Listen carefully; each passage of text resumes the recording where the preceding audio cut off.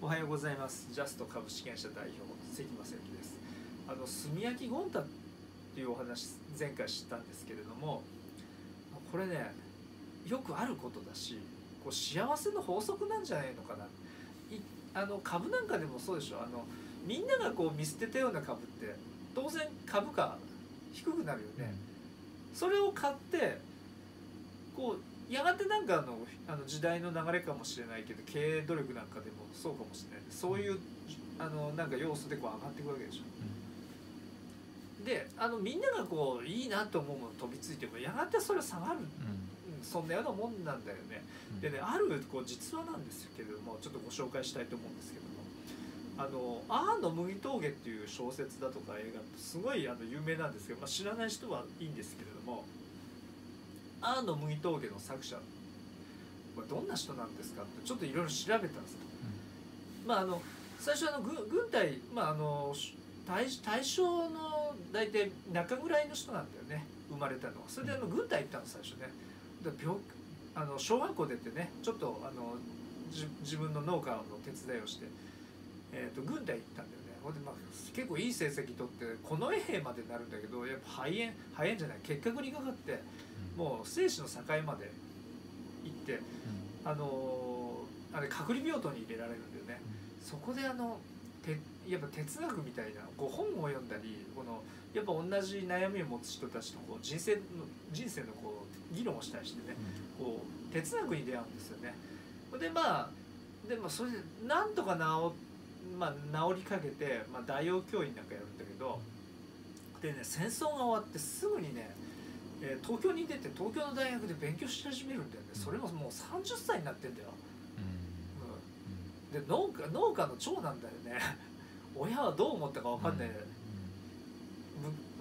そそれでねやっぱそこからねあの自分で自費出版で俺戦争であれだよ。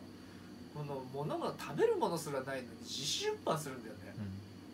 それそれがあの哲学書あの「生き抜く悩み」っていう本出してこう、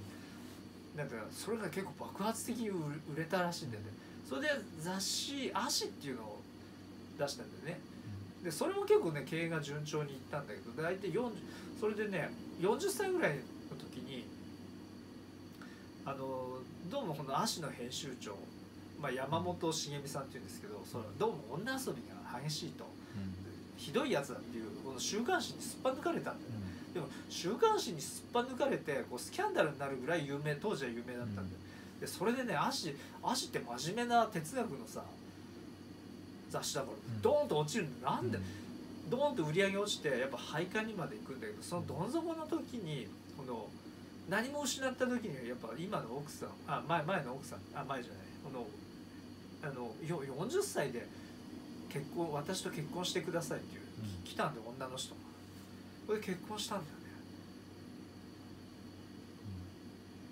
ね、でそそれでもやっぱねやっぱあの雑誌の編集なんかやってたから、まあ、記事は書けるよね、うん、ででリポーターなんかやってて。でようやくこのフリーのライターの仕事について、まあ、なんとか食っていけるぐらいになった時にどうもあいつはこの盗作をしてるぞみたいな疑惑が起こってくるわけです、うん、まあ本人が言うにはこうようやくこう崖から落ちてこう這い上がろうとした時こう崖の上で手あの崖のところで、えっ、としがみついたらその手をこうよじ、うん、踏みつけられるような思いをしたっていうふうには表現してるんだけど。でねその盗作疑惑があってねまあまあいろいろもすったもんだったんだけど。さらにでもねその野麦峠のこのことをねまたさらにです朝日新聞がね盗作して記事にするんだよね、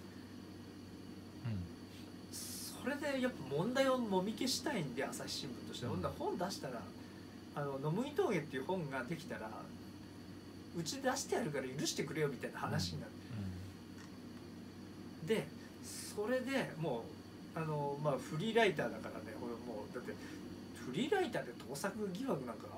あった日には仕事なんか来ないよ、雑誌で。だってあいつ嘘をつくんだろうという話じゃん、だからでだからね半年間ねこう家にこもってねこのあのムイトーに書いたんだよね。そしたらなんと本が出た時には250万部が売れる大ヒット。これで映画。で多分です奥さんがだって食っていけないんで奥さんが支えてたでしょ、うん。多分奥さんが多分いろいろそうこういうふうにした方がいいんじゃない、うん。ああいうふうにした方がいいんじゃないっつで250万部だよ今のあれだよねあの金額っていう億単位だね印税が、まさに現代の炭焼きうん。ゴンタの女房じゃない？うん。でもね往々にしてこんなこといっぱいあるんだって、うん。だからあのなんか条件のいいとこいいとこっていう話じゃないんじゃないですかって話なんですね、はい、どうもありがとうございました